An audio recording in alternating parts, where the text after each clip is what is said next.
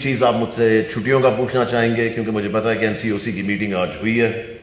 उस पर मैं आपको ये बता दूँ कि अभी कोई फैसला हुआ नहीं है उसके ऊपर। उसमें एक ऑप्शन दी गई है कि प्रॉब्लम जो है वो लाहौर, पंजाब के में अगर आपको बताऊँ तो प्रॉब्लम लाहौर तक है। और लाहौर का मैं उसमें यह बताऊँ इशू इसलिए ज़्यादा है because of obviously the population population की वजह से है प्लस जहाँ तक मेरा नॉलेज है या हमारी टीम का नॉलेज है या हमारे डिपार्टमेंट का नॉलेज है और हेल्थ वालों के साथ हम बहुत ज़्यादा इस पर दोनों डिपार्टमेंट साइड बाय साइड काम कर रहे हैं। जो सबसे बड़ी प्रॉब्लम आ रही है वो सोशल एक्टिविटी है। वो स्कूलों के अंदर नहीं है।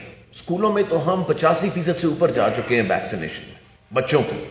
और 100 परसेंट टीचर्स की वैक्सीनेशन प्राइवेट और पब्लिक स्कूल्स में हो चुकी है। सो so, वैक्सीनेशन तो एक ज़बरदस्त लेवल पे जा रही है जो हम पंजाब में कर रहे हैं। मगर जो प्रॉब्लम है, जिस तरह मैं जिसको भी जिससे भी मेरी बात हुई है, वो जी हमें शादियों से कोरोना हो गया, हमें किसी और एक्टिविटी से कोरोना हो गया सारी सारी फैमिलीज़ को हो गया तो हमें सोशल एक्टिविटी पे मेरे ख्याल से ज़्यादा फोकस करना पड़ेगा, क्योंकि स्कूल्स में तो हम मास्क भी मैंडेटोरी है मास्क के बगैर बच्चों का स्कूल में आना अलाउड नहीं है। दूसरी चीज़ मेरे ख्याल से वैक्सीनेशन हमने एक ज़बरदस्त लेवल पे जाके की है। और अभी भी हो रही है। जो रेड कैंपेन है, वो अभी भी चल रही है।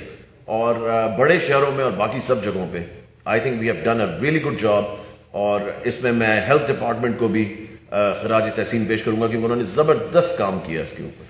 और इसलिए मेरे ख्याल से जो ऑप्शन दी गई है, वो ये है कि 12 से नीचे जो बच्चे जो वैक्सीनेटेड नहीं हैं, उन क्लासेस को स्टैगर कर दिया जाए। और बाकियों को जो 100 परसेंट बच्चे वैक्सीनेटेड हैं वो 100 परसेंट क्लासें उसी तरह चलें जिस तरह इस वक्त चल रही हैं। सो ये फैसला इन ताला आप देखना अगले 24 घंटे के अंदर आएगा। जी जो वैक्सीनेटेड नहीं है बच्चे उनकी स्टैगर्ड क्लासेस फिफ्टी परसेंट वाली पे। जी फिफ्टी परसेंट एक दिन फिफ्टी परसेंट दूसरे पे। मगर मैं आपको ये बताऊँ कि जो वैक्सीनेशन है वो वैक्सीनेशन के बगैर बच्चे अब स्कूलों में अलाउड नहीं है। सो so, इसलिए आई थिंक उस वजह से मुझे नहीं लगता कि इतना सवेयर कोई स्टेप भी लिया जाएगा। बाकी चीज़ों को हमें ज़रा ज़्यादा करटेल करना पड़ेगा और आई थिंक हमें मास्क की तरफ़ वापस जाना पड़ेगा कि मास्क मैंडेटरी किया जाए हर जगह पे। की रही है। क्योंकि आई थिंक सब चीज़ें बंद हो जाएँ तो फिर स्कूलों के पास जाना चाहिए। जितना हमारे बच्चों का नुकसान पिछले दो साल में हो चुका है आपको पता है कि वो रिकवर करते करते हमें कुछ साल लग जाएँगे। मेरे ख्याल से जब तक सब कुछ बंद ना हो जाए, तब तक मेरे ख्याल से स्कूलों पे नहीं आना चाहिए। और इस तरह तभी आज एनसीओसी की मीटिंग में भी बड़ा ये प्लेजेंट माहौल था कि सब स्कूलों की तरफ़ सबसे आखिर में आ रहे हैं।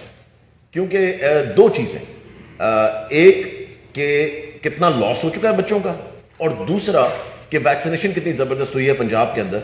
सो इसलिए मेरे ख्याल से सब स्कूल को बंद करने की तरफ़ मेरे ख्याल से बात भी नहीं हो रही थी स्कूल बंद करने की